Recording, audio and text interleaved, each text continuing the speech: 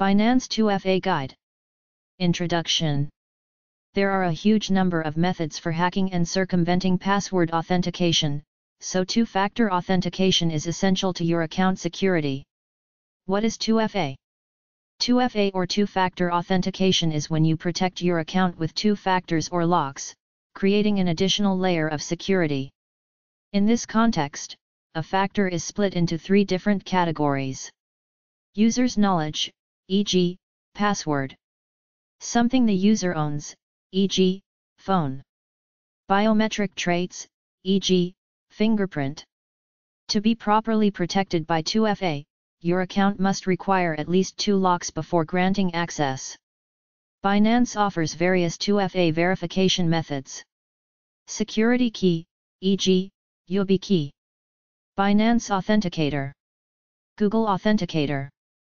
Mobile phone, SMS. Email. In this article, we will show you how to use SMS and Google Authenticators on Binance. If you want to learn more about the Binance Authenticator method, please refer to the FAQ page How to enable Binance Authenticator. How to set up SMS and Google Authenticators on Binance. SMS Authentication When creating an account, you provide your mobile phone number. Whenever you want to log in, the service sends you an SMS message with a verification code that expires after a certain period of time. You have to input that number in order to log in.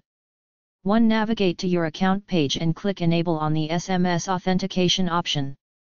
2. You will now need to enter your mobile phone number and click Send SMS.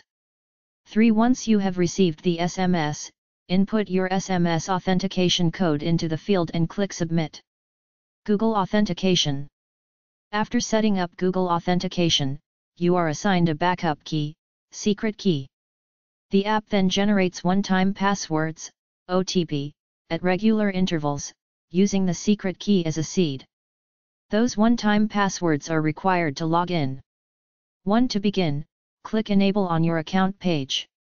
2. Next, you will need to download the Google Authentication app. Links are readily available on this screen. Once the application has been installed, proceed to the next step. 3. Scan QR code.